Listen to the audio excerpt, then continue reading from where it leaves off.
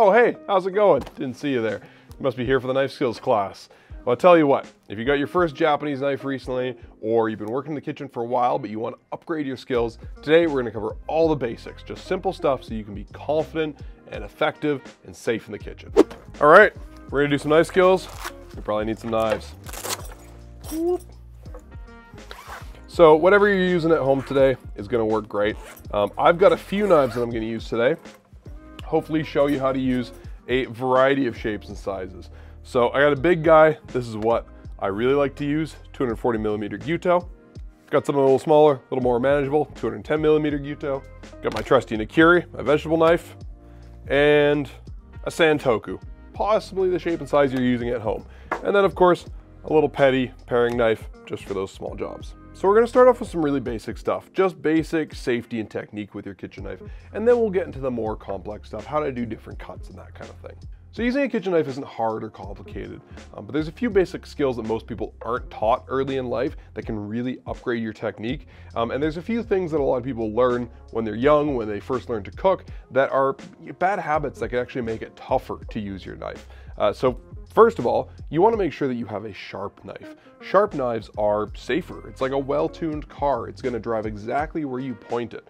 If you point it in the wrong direction, obviously that's not a good thing, but if you take your time and use it properly, uh, it's gonna be far safer and far easier to use. Uh, dull knives tend to cause the most injuries and the worst injuries, as well as being frustrating and hard to control. So make sure your knife is sharp. If it isn't sharp, uh, get it sharpened or get a new knife. How you grip the knife is going to make probably the biggest difference uh, as far as your cutting experience. And now this part of the knife is called the handle. This part's the blade, right? Uh, a lot of us learn to hold it by the handle. Problem is, when your hand is back here, you have less control over the blade because the part of the knife that's doing the cutting is up around here. If your hand's back here, you have to use more force to push this part of the knife forward. So if you sneak your hand up a couple of inches and gently pinch the knife between your thumb and forefinger, you're closer to that center point of the knife, the kind of center of balance, that's actually doing the work, right? Because when you cut, it's really that belly section that's doing most of the work. So get as close to that as you can comfortably. If you're a little afraid of the blade, you can sneak your hand back a little bit, but still hold it kind of right where the blade meets the handle there. Now this hand is the one that's probably gonna get cut if you're not careful. Um, when I learned to cut, I basically learned to grip, grip the food like so, and you know, finger up on the spine of the knife, and just to cut like that. And if your knife's sharp, that's fine, right? Does the trick. However, having your fingertips out like this makes them very vulnerable because all you have to do is lift that knife up half an inch or a quarter inch too high and suddenly you might be cutting your fingertip or your thumb, right? Your thumb can be sticking out there as well. So with the left or the non-dominant hand, I like to tuck these fingertips under you see a lot of people, a lot of chefs doing this claw technique or the, you know, what's the matter you kind of grip. Basically, get those fingertips out and away so that they're under the first knuckle of your finger and not gonna get under the blade. Now, the part of my finger that's up front in the action is much higher up. And so I'm a lot less likely to get that under the blade. With this hand, scooch that finger off the spine there.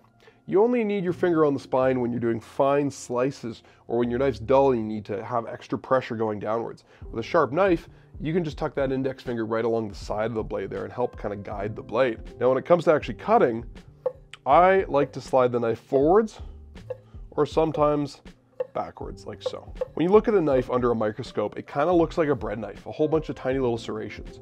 So much like a bread knife, it works better by sliding than by pushing straight through the food. Again, sharp knife, not a problem. But when your knife starts to go a bit dull or you cut something a bit tougher like a tomato or pepper with a tough skin, pushing isn't gonna really get you anywhere. You may have learned your knife skills, like I did, on the Food Network, leaving the tip of the knife on the cutting board and coming down like so. And this is fine. This is great technique, right? There's a couple issues though. If you're just moving the knife up and down like a paper cutter like that, you have to kind of push the vegetable through and it's really hard to control the thickness of your cuts. Now, one thing you can do is get a little more sliding action and slide the blade like so. And that's gonna work a lot better. It's gonna allow you to move the knife sideways as you cut. But there's still an issue. To get part of the knife up over the food, if you're gonna leave the tip in contact with the cutting board, that means the other part of your knife has to be way up higher, which means if this gets anywhere near your fingers, you're more likely to get cut, and it's kind of awkward on the wrist, right? That kind of motion If you're making a quick dinner, not a big deal. If you're cooking a big meal, cooking holiday dinner, uh, or you're working in a restaurant, it's gonna get very tiring. So what I like to do is I leave the blade parallel to the cutting board. I start near the front of the knife and I slide the knife forward, like so. Nice and easy. This allows me to, to kind of pull back and pause a little bit for each cut and aim the knife so that I'm getting consistent thickness with each cut. You can also draw the knife backwards if that feels more natural to you. Chances are this will feel a bit awkward at first, right? That's okay. Every skill takes practice. Nobody knows how to play guitar or do woodwork the first time. Same's gonna be, it's gonna be the same with knife skills, but luckily you cook most of the time, most, probably every day. So you'll have lots of opportunities to practice these skills. If you're cooking at home, it's not a race. So just take your time, uh, be patient, practice getting those cuts precise and smooth before you try to get fast. Now with this hand, because I do like to go for consistent cuts, and this will come into play later, I'll explain why later, but we're trying to get a consistent size with each cut. And so I'll actually buffer side of the blade against that first knuckle of my index or my middle finger. And that'll allow me to guide the blade. And so when I bring the knife up for that brief pause, I can look over the top of the knife a little bit, especially when you're learning and you're practicing being precise before it's automatic. You can just pause for a split second and make sure each cut is going to be about the thickness you want. It doesn't have to be perfect, but we're going for some degree of uniformity here. And then I just inch that hand back, slide it along the carrot a little bit with each cut. Once you got the hang of those two hands, just make sure you're comfortable at your cutting board, right? Some people like to cut straight across like this and kind of angle their body. That's fine, but make sure you're standing off to the sides so that your knife or your elbow isn't running into your body. For me, I feel most comfortable working with my carrot or my food at about 45 degrees across the cutting board, my knife going at 45 degrees, and the two meat in the middle at about 90 degrees. So I get a nice straight cut. This feels comfortable. I can kind of like loosen up and get, you know, get comfortable. And I'm just standing at the cutting board so that it's natural. Make sure your cutting board is at, at you know, as nice of a height as possible as well. A couple things to avoid um, before we get into all the skills. Things that dull your knives quickly. Cut on wood or plastic. They're softer. They're gonna help your knife stay sharp longer than glass or bamboo or granite, stainless steel. When you finish cutting, this is a bad habit that I have, a lot of people do. When you finish cutting, you wanna move stuff across the cutting board. Don't scrape like that. That is a bad sound. That is your knife dulling because as you scrape across the cutting board, the edge is just going like that and it's getting dull. So chop, chop, chop, chop, chop, and then either pick the knife up a little bit and just slide so that the edge isn't contacting the board, or flip the knife over, use the spine. You can scrape all day and you're not gonna damage your knife. Other than that, just try to avoid coming down too hard on the cutting board because that the, the more uh, often and the, the more forcefully you come down on the cutting board, the faster your knife is gonna dull. And when it comes to picking up vegetables, right, to move them into a pot or container, just be really careful if you are using your knife. Um, you know, you want to make sure you don't run that edge into your hand. Obviously, uh, you'll see me using a food scoop this whole time because it's easier and safer. You can use the knife, it's fine, but just be careful if you are using the knife that you're not running into your hand and you're not walking around your kitchen like this with a knife point sticking out towards somebody. Okay, boring part over. Let's learn some nice skills. First up, we're gonna do a dice. Uh, dice is a common cut that you use for a lot of different food. You can do different sizes of dice. I'm gonna start with kind of a medium to large dice. Uh, we're gonna do a carrot first.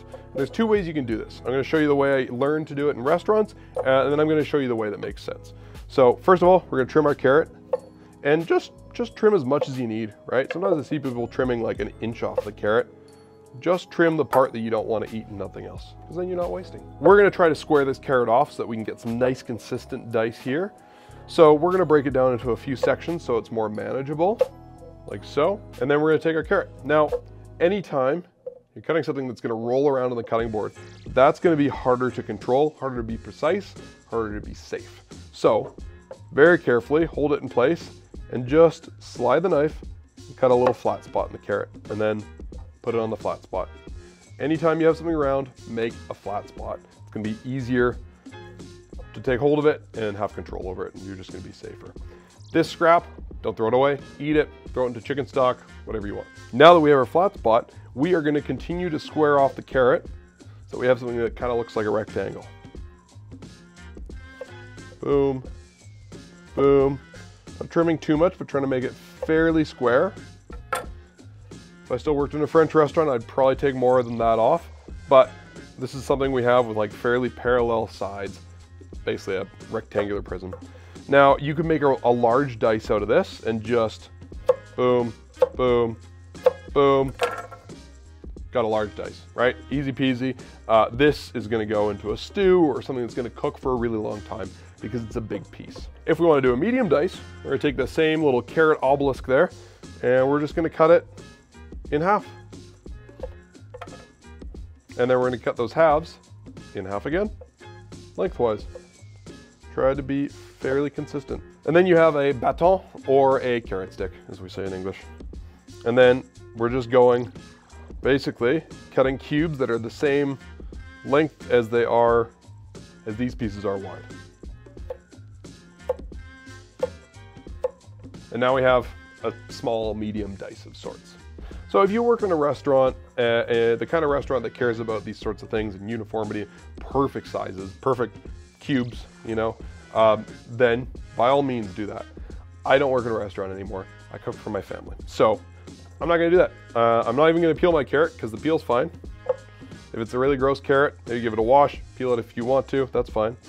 I am gonna cut a little flat spot still, just for security's sake. But then I'm just gonna cut it in half without all that unnecessary trimming and then cut those halves in half again. And so when I make a soup or a stew or whatever, this is what my diced carrot looks like. It is roughly a cube, but not really, right?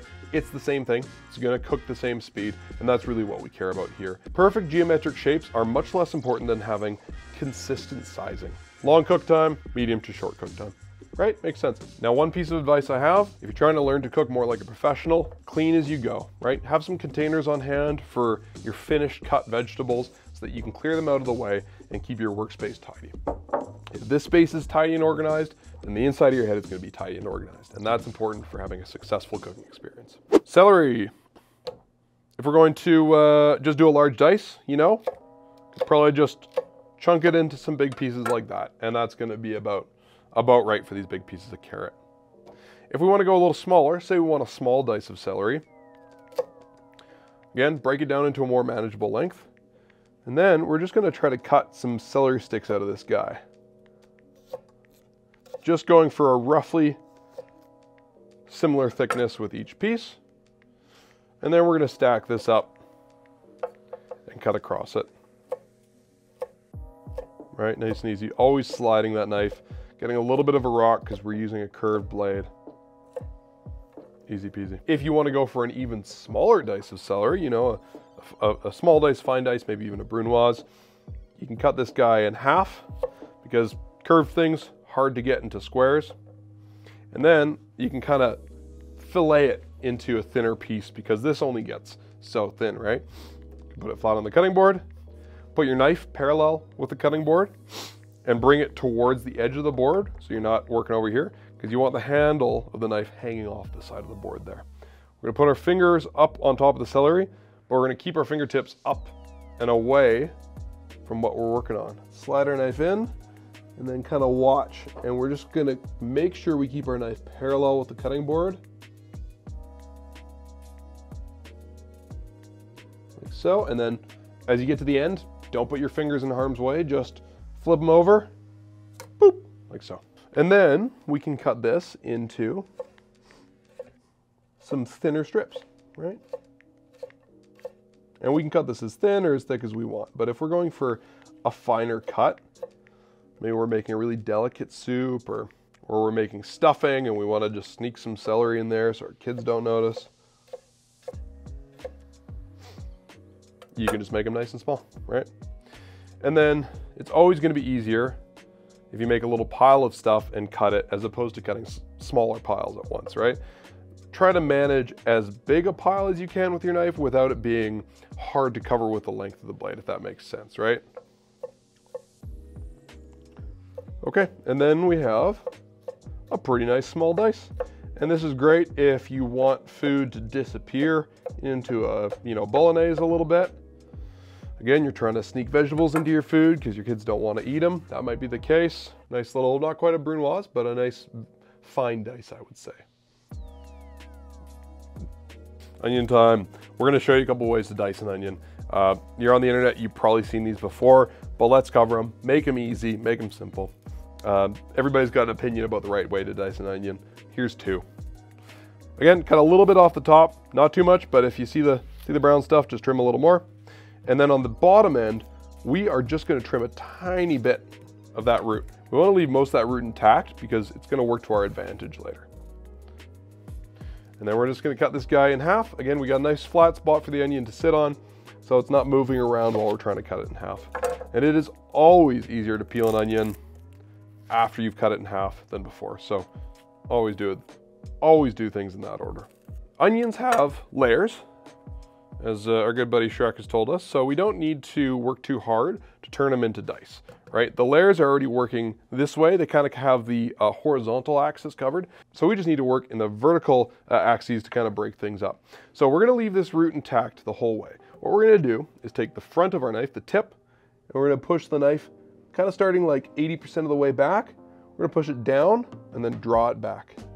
Down and back, down and back, down and back. And so we're leaving part of that onion intact. And if some pieces fall out, it's fine. Don't worry about it. Just pretend you're at Outback Steakhouse making a bloomin' onion. That's exactly what we're doing here. Working all the way across. And then some people like to do a, a horizontal cut into the onion like this. That's fine. But if you're a home cook, it can be a little scary and a little dangerous. So you actually don't need to do it all the way through. You can just do it along the sides of the onion here where you have those flatter sections. Just with the tip of your knife, just score that a little bit.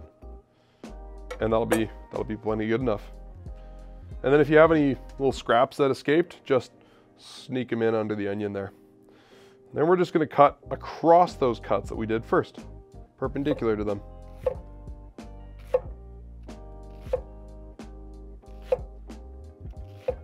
Boom.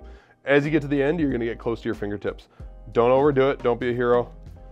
You can lay, you can lay that piece of onion flat, get a couple more cuts out of that, and then throw that into your chicken stock. If you keep a freezer bag with vegetable scraps, you can chuck it into there and then you can throw all that into a chicken stock. Okay, this next method is not my favorite, but a lot of people really like it, so it's worth showing to you. This cut basically works the exact same way as the vertical slices, but it's called the radial method because you follow the radius of the onion. You work kind of around the curvature of the onion. So same kind of cut, we wanna leave the back end intact. We wanna cut in towards the middle, just past the middle of the onion there. And we're gonna make each cut kind of following the natural lines or curvature of the onion. So tip, almost parallel with the cutting board, down into the onion. I'll try to show you guys better down into the onion like that, right? And as we get further along, we increase the angle of the knife until we're at 90 degrees, boom. And then just be careful with your fingers coming down on the second side as we decrease our angle. Like so. And then you basically get the same thing, but this looks more like a blooming onion. Beautiful and then just cut straight across. Is it perfectly consistent? No. Doesn't matter? Absolutely not. Now this mixture that we have here, called mirepoix. 25% carrots, 25% celery, and 50% onion. This is the basis of a lot of French cuisine. It's kind of a nice flavor base. Um, you've got a little bit of sweetness from the carrot and the onion. You've got the beautiful flavor of onion, onion flavor, I don't know, whatever that's called. You have a little bit of kind of almost saltiness from the celery. And so when you're making a soup or a sauce, you want something to roast meat over top of, uh, it's, it's a great base. Okay, we're gonna switch up our knife here, because uh, why not, right?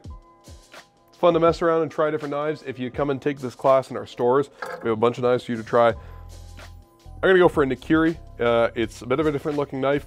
It's basically a vegetable knife. Flatter edge, so for those sliding cuts, it's really nice because you get a really clean cut without having to rock. And for the cuts I'm gonna do right now, it's gonna be perfect.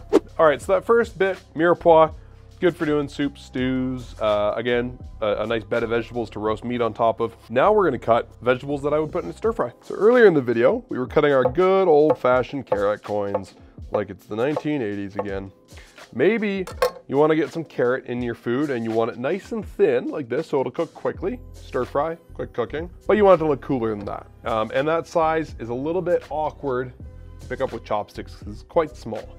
So instead of running our carrot into the board at 45 degrees, we're gonna run it across the board at about nine degrees, just like on this kind of like horizontal line. The knife is gonna still be at about 45 degrees. Again, using our finger to guide the blade and just sliding the knife forward.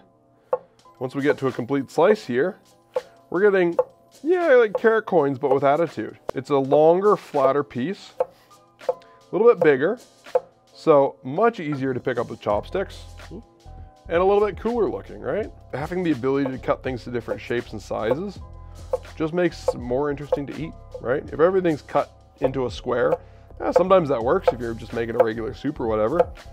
But if you're making something like a stir fry that's a little more of a exciting dish, uh, maybe you want to have vegetables that are a little more exciting. Maybe it'll get your kids to eat them. For the stir fry, we got a quick cooking method, quick, high heat. We're gonna go everything pieces similar to this. Nice, longer, flatter pieces, easy to eat, uh, but cooks in just a couple of minutes. Once you have your bias cut carrots, you can turn them into a julienne really easy. A julienne is a, is a long, skinny matchstick. A lot of people think a julienne is quite a bit bigger, like a carrot stick, but it's actually a much smaller cut. Now, some people will take a carrot and they'll square it off and they'll try to cut these perfectly thin sheets. And it's just awkward and it's not really worth the work if you're not worried about absolute perfection. So I'll just take my bias cuts and I'll stack them up three or so at a time. Then I'll just slice lengthwise across them. Again, just rocking the knife a little bit to make sure we complete each and every cut. There you go. You have a beautiful julienne carrot. Uh, this is great if you're making pickled carrots, you know, you're making like a, a salad rolls or uh, maybe a banh mi, you want to pickle some carrots, that's the way to do it. If you want a, a, fairly fine dice of carrot, again, you can just line them all up like so, lengthwise. Just go back over them. And if you want carrot that's going to disappear into your bolognese, then put it in the food processor, but you can also spend time and cut it this way. And when you're cutting a big pile of stuff like this that's really long, you don't want to go all the way through in one clean motion. You can come back every now and then and kind of like reorient your pile just to keep it tidy. And that way it's easy to cut and you do get a, a fairly consistent. There's no chef yelling at us, so we can take our time. So with that in mind, we got our celery here. Uh, we could do the same kind of cut across like this. And let's just do some of those for the sake of demonstration. That's a great little, great little cut. We cut it the same way as our carrot, but we got a different shape. So how cool is that? We got a little Nike swoosh, a little disc. Alternatively, we could come in at a 45 degree angle this way to the cutting board as opposed to towards our body. So if we do that, we slice the knife, again, working, I find this cut works best if you draw the knife back like this. If you're having a, if you're having a Trekkie over for dinner, it's a nice little Starprize Enterprise, Star, Starship Enterprise badge. Onions, we have fewer options of the onion, but I'm gonna show you a couple different ways you can slice an onion depending on what you're cooking and how you're cooking it. So again, we're gonna trim the top and the bottom of our onion off, cut it in half. This onion's a little worse for wear, so let's skip ahead while I manicure this. Remember, always keep your cutting board clean, especially if you're cooking something that has a non-edible part, you know, onion skins, you don't want them getting mixed in to your nicely diced onion. So clean the board off well, and then what you're eating isn't gonna be mixed up with like garbage. Now for this cut, we're just slicing the onion. We don't need to leave that root intact. We could trim it off this way, but then we're wasting a whole bunch of perfectly good onion. And and with the price of groceries these days, or you know even better if you grow your own vegetables, uh, you don't want to be wasting stuff and throwing it away, even if you do compost. So we're just to use the heel of our knife, using our finger or thumb, the same hand just to guide it very carefully, like so. You could use a paring knife for this too, but a full-size knife works great. Like I said earlier, how we slice the onion is gonna change depending on what we're cooking. So as an onion grows, we have the root at the bottom, right? We have the bulb, and then we have the stem growing up above the ground. Uh, as it grows, it kind of grows lengthwise, and so you end up with these like long strands of fiber running through the onion from top to bottom. If you look closely at an onion, you can actually see the lines in it. And so th those can dictate how we cut the onion. If we cut with them in the same direction, the onion's gonna be firmer and more crunchy. It's gonna hold up better. So if you want, you know, if you're doing a stir fry, you want more crunch, or you're making a French onion soup and you don't want it to just be all one texture, you want a bit of more texture in it. Um, then we can slice our onion lengthwise, right? If I'm doing fajitas, I'll probably do like this full length, but for stir fry, we want a bit smaller pieces, so I'm gonna cut it in half across the lines, and then we're gonna cut it with the lines. Once you get to the end there, you have got like a downward slope on the other end of the onion. And so I like to flip it over and just keep going. And once you get too close to your finger, don't worry about making it perfect, right? You can always break it down and, and trim up these pieces a little more if you want. There we go. It's just another shape to add to your stir fry arsenal. And it's again, a similar size and shape that's gonna cook at a similar speed to the rest of the stir fry. Good stir fry tip too is uh, I'm not doing it right now, but keep your vegetables separate. So keep your onion separate from your carrot, separate from your pepper, separate from your celery, and cook the harder stuff first. Throw that in the pan, give it 30 seconds, throw the next thing in the pan, give it 30 seconds, because things cook at different speeds. And so if you stage them out like that, they'll all be cooked about the same, and uh, you won't overcrowd your pan, it won't cool the pan down, you won't end up with a really steamy, watery stir fry. Now, the other way we can slice an onion is against those lines. And that's gonna cause the onion to break down and dissolve more. So if you're making an onion jam or you do want less texture in your soup or you, know, you just really wanna cook it down, maybe caramelize onions, but you want it more like a paste, then you can just slice against these lines, generally nice and thin. This is generally how you'd wanna cut onions for a burger or if you are a freak like me and you like uh, raw onion on your sandwich, little onion in your grilled cheese, that's how I'm gonna slice that onion, right? Nice and thin, not, not paper thin, I mean you can, um, but if, if you just want it to be a little more palatable raw or you want it to uh, be, be much softer when it cooks, that's how you're gonna wanna slice your onions. Last vegetable for our stir fry pepper. Going back to knife skills we learned when we were young, and my least favorite thing to do was work with pepper. Normally when you cut a pepper, you cut it in half and it just makes a mess. You get seeds everywhere and you have to go through and like pick them out one by one. And I hate tedious work. So I'm gonna show you how to not do that. We're gonna cut the top and the bottom off of our pepper. But we wanna leave the inside, the core where the seeds are intact. So we start by cutting far enough back, probably like half or three quarters of an inch into the pepper so that you see the inside. Then you have this nice piece left over, right? Keep that off to the side, we're not gonna throw it away. Now the top, we just want to cut off enough that we have this little ring on the top connected. And we want to just cut uh, through the bottom of this green base of the stem. So again, sliding our knife like so. See, we left the core intact and that's what we want. So now we've got just a nice ring of pepper with the core on the inside. Take our knife, slide it into the pepper, make an incision. Put the knife along the bottom there. And we're just gonna pull this way with our hand and then kind of saw a little bit back and forth with our knife. And you can do this real quick if you want, it looks cool, but we're going for precision here, so we're gonna take our time. And there you go. There's all the seeds in the pepper. Throw that in the compost. These guys, you can use up. You can cut them however you want, dice them, julienne them. If you wanna have a little more fun with the pepper, again, do some more interesting shapes for your stir fry. You could cut this guy in half and then cut it in half lengthwise. So you get these two longer, skinnier strips. And once again, do our bias cut where we bring the knife in at 45 degrees and just cut like so. And cut pepper diamonds. Beautiful, look at that. Or you can just julienne your pepper, right?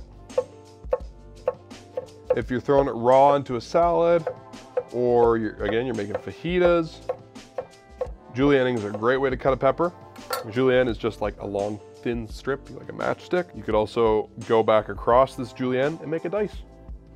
Right, if we're doing that, that holy trinity, doing some Cajun cooking, that's a really easy way to make a small dice out of a pepper. If we want to garnish off our stir fry with something, uh, we can do a julienne cut on some green onion. Much like the carrot, if you cut green onions into those little discs, um, you know, it's good for garnishing pierogies and stuff, but if you're trying to pick it up with chopsticks, It's kind of a small piece that gets lost easily. I find that's a good method for garnishing soups. If we're doing something we're eating with chopsticks, we want a little longer, a little easier to grab. So we're just gonna take our green onion, we're gonna trim off the root end here and keep everything else. And we're just gonna do a bias cut like we did before, except instead of that 45 degree angle, we're gonna go for like a 75 degree angle. Really wanna decrease the angle of the knife to the food there so that we get a longer slice. And that's the cool thing about this bias cut is you can adjust your angle of attack up or down to get longer or shorter pieces. So it's, it's a very versatile cut. I find this is hard to do more than two or three green onions at a time. So just go easy, take your time. And then we have nice large pieces that we can finish up our stir fry with that are gonna be easier to grab and eat. All right, ginger. They didn't have ginger at the grocery store, so, well they did, it was tiny at $7. So, I grabbed this piece from my fridge. It's ugly, tell me about it in the comments. But we're gonna peel ginger, and the best hack for peeling ginger, if you don't know it already, is to use a spoon. Uh, it just removes less of the ginger than using a vegetable peeler or a knife. Basically, you just use your thumb to stabilize the ginger and then just scrape the side of it like so, and it removes just the skin of the ginger. You can use the spoon to cut in a little bit if you do have a piece that's a little gnarly. Cutting ginger is a lot like cutting anything else that we want to make into a consistent piece. We want to cut a flat spot so it doesn't roll around on us. And then we're going to use our knife. And this is where um, using this index finger to guide our cuts really comes in handy because we want to go for really thin slices, as thin as we can. I like ginger. I like intense ginger flavor. But if you got somebody with a bit of a lighter palate or you're going for bit of a lighter flavor in your food, And you want to cut strong foods as thin as you can. This comes real in handy for garlic and hot peppers. Once we got all those flat sheets, we're just going to stack them up more or less. And much like doing a julienne, we're just going to do like a micro julienne. We're going to end up with these tiny, basically like threads of ginger. Super, super fine. Now, these would be really good in just in food on their own. Like they're, they're, small enough that you could just throw into a stir fry and it would be, to me, the perfect amount of ginger. But if we want to work into a marinade or we want to blend into the dish a little more and distribute it a little more evenly, we can go back across those threads. This is a, a time where it's helpful to leave the tip of the knife on the cutting board and just mince through that ginger. And this is this is effectively minced ginger. And I really like doing cuts like this, not because it's practical, but because it is a fun way to practice my knife skills uh, and honestly just not get too rusty in my case. But if you are trying to improve and better your knife skills, trying to do some really precise stuff like this will help you practice. If you don't have the time or the patience or the give a shit to do things that way, this is called a microplane and this is your best friend in the kitchen. Um, it's just a really fine grater, but it's the best one and the best brand. And you can use it for things like ginger.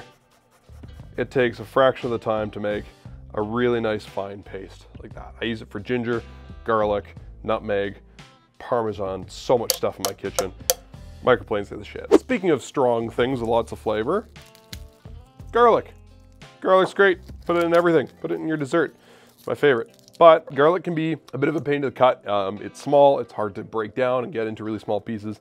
It's sticky when you do cut it down. So there's two ways that I like to approach it. Um, first of all, I like to smash my garlic, but if you set your knife like this and you whack on it like Anne Burrell, uh, you're gonna mess up your knife. You're gonna bend your knife because it's flexing when you do that. So put the garlic near the side of the cutting board, put your knife parallel to the cutting board, and just use the heel of your hand and just gently press like that. And then you got nice smashed garlic. And then all you have to do is cut across it, and this will kind of naturally break it up into some pieces.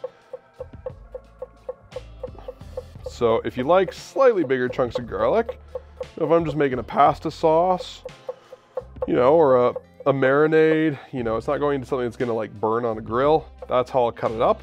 But then you can just rock over it like so and make it smaller if you want to. When you do this rocking cut, don't press the knife into the cutting board and rock because then you're gonna tweak and, and dull and possibly even chip up the edge of the knife where it's contacting the board. So just keep your hand floating on top of that knife as you rock back and forth. Method number two is like Paulie from Goodfellas. You know, making the pasta, you want the garlic to like disappear. It doesn't actually happen. But if you want nice thin slices of garlic, use that first knuckle right there, put the knife up flat against it, and then just bring your head down close to the cutting board and just slide the knife and maybe go less quickly than I am so you don't mess it up. takes practice um, and it is impossible to do without a sharp knife. So make sure your knife is sharp. Method number three, microplane. Takes like 10 seconds and you have garlic paste. Done. Now say you want to make a salsa. Um, tomatoes, great. They got a lot of water in them. So when you make a salsa or a bruschetta, there's a way that you can uh, work with your tomatoes so that it doesn't end up like watery and soupy. So you're gonna start by cutting your onion, tomato, same thing, in half like that, and then into a quarter, right? And then we're gonna take our knife and we're gonna kind of like parallel with the cutting board again. We're gonna use the tip of the knife and we're gonna score and we're gonna curve the tomato as we go.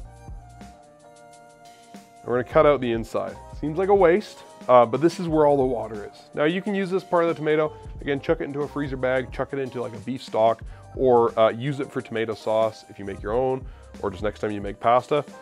Get any of the extra watery stuff out of there, and then skin side up or skin side down, whatever you like. If your knife's dull, skin side down. We're just gonna lay that flat and cut this into some nice sticks. Oh my God, this Gyuto is so sharp. This guy's brand new. Haven't used it yet. It's awesome. And then we have a nice diced tomato for our, our salsa or our bruschetta or however you say it. And it's not watery. Uh, then you can add some, you know, lime juice or, you know, vinegar and it's not gonna end up really soup. If we want to add some onion to our salsa or our bruschetta, we don't wanna do like a big dice like we did before. So we can do the same method we did before uh, with the dice and just make those cuts much closer together. So instead I'm gonna cut just a quarter of an onion and I'm gonna take two or three of these like petals, people call them. And I'm just gonna press it down flat. And then same with the tomato, but smaller. I'm just gonna cut little onion julienne. And if you want to pickle red onion, this is a really nice way to cut it. But for our purposes today, we're just gonna line them up and go back across, make a nice little fine dice or brunoise. And that's nice and small enough. You throw it on your McDonald's burger or you throw it on your bruschetta. It's not gonna be too strong. It's not gonna blow people's head off with how intense it is. You gotta, gotta take that McDonald's up a notch. Okay, now we got some herbs. And I'll be honest, I think cilantro and parsley get mistreated a lot. Um, when I worked in, in restaurants and went to cooking school, we learned to chop our parsley really, really fine uh, until there was like almost nothing left. And when you have a delicate leafy herb like this, chopping it that much kind of destroys it. It, it. it, damages too much of the flavor. And so what I like to do is um, be a little more gentle with it. Now, something like cilantro or parsley, there's two ways you can go at it. Uh, you can take the leaves and chuck the stem or throw them into a stalk or, or do whatever with them, right? Um, they generally have two little arms here and then a head up here. So you take the head off. Now, I like the stem in parsley and cilantro. Uh, I think it's got a lot of flavor, it's got a lot of texture. You know, you spend all this work to buy your groceries or to, or to grow them yourself and throwing most of it away is stupid. So I include the stems. Um, I just cut them really fine and they're great. They, they add more texture than the leaves do um, and help bolster that flavor. So regardless if you're cutting the stems or the leaves, what you wanna do is kind of get things into a nice little pile there. Don't mash them too much and just gently cut across them like so, right? Nice and gentle. And I'm including the stems here. And then once you have the amount that you want, you, the rest can go in the fridge and you can just chop them a little more, right? You can do this kind of hache cut, but man, when I went to school, we were rocking it and going over as aggressively as we could, just mashing this parsley, and it was just depressing. And so I like to leave it a little bigger and a little leafier. That way you have bigger chunks of the herb and they're, they're, they're just gonna be better, right? Um, you know, even cilantro with a stronger flavor isn't gonna overpower in a larger piece. And, and then you're not damaging it. You're not destroying all the flavor by hacking at it too much. When it comes to the stems, like I said, I like to include them and I just like to cut them nice and thin like so. Again, using my knuckle to guide the thickness of the cuts. rocking the knife. And this is a, a nice small piece of cilantro, so nobody's gonna complain about getting that in their food.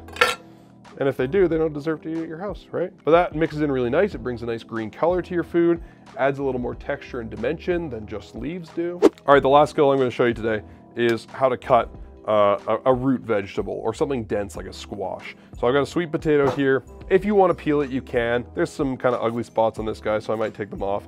I like the peel, but if you don't, just get a nice sharp vegetable peeler and, uh, and just peel the whole thing before you cut it, because that'll make it easier. Something dense can be harder to cut through and it can be a little bit scary because you often need more force to cut through. These things are often also round and so they roll away, which when you've got a big knife and you're trying to push through it, is dangerous. Like we did before, cut a little flat spot. You, we can use this, we can chop it up, but that way it's more secure. Try to find a narrower piece to cut through. If we try to cut through this lengthwise, we got a lot more surface area on the inside of this yam to get bound up in, and so we're gonna cut through the skinny side here. And essentially the technique, you don't wanna use too thick of a knife, like a German chef's knife, because it's quite thick like an axe, and it's gonna wedge in. So instead, I go for a Japanese knife, something fairly thin, and I start right up near the tip of the knife here, just about an inch away from the tip. And I'm gonna push down and slide the knife in a clean motion, but I'm not gonna like throw my whole body into it, right? You wanna actually be kind of gentle. You wanna make sure you're up above the vegetable a little bit, and ideally use a slightly larger knife. Push through, and if the knife gets stuck, just wiggle it out gently and go back to the tip there and just carry on. And if it gets really stuck, you can just gently roll it a little bit and that might help complete the cut. Now our yam is a much smaller piece and it's twice as easy to cut through, right? Nice and easy. And then if we want to dice it, Boom, like so. If you do have something like this that's a bit intimidating to cut, you can always microwave it for 20, 30 seconds first. That'll soften it up a bit. But using a, a decent sized knife, using a thinner blade, not too thin, but thinner than a really thick knife, and just getting a little bit of momentum on it, but using a sharp knife so that you don't have to force it too much. That's really the trick to cutting dense foods. Well, there you go. I hope now that you feel a little more comfortable and confident in the kitchen, especially if you just got into cooking or if you just picked up your first super sharp Japanese knife. Uh, if you, you know, think I missed something or if there's something I didn't cover you want to learn about, leave me a comment down below, but there's a good chance that I covered it in our advanced knife skills video, which you can go watch now. Um, I get into more intense techniques that aren't all that hard, but kind of break things down that seem a little bit intimidating and cover a bunch of the techniques that I didn't cover here today. If you live in Calgary, Edmonton, Ottawa, Vancouver, or Toronto, and you want to learn more, you can come and take one of our classes in person where we cover all these skills and more, and we cover them in person so that you can actually get one-on-one -on -one coaching with us. If you are new to the world of Japanese knives and you want to learn a bit about how to take care of your knife after you're finished cutting, check out this other video on knife care. Happy chopping? Let me know in the comments what you cook.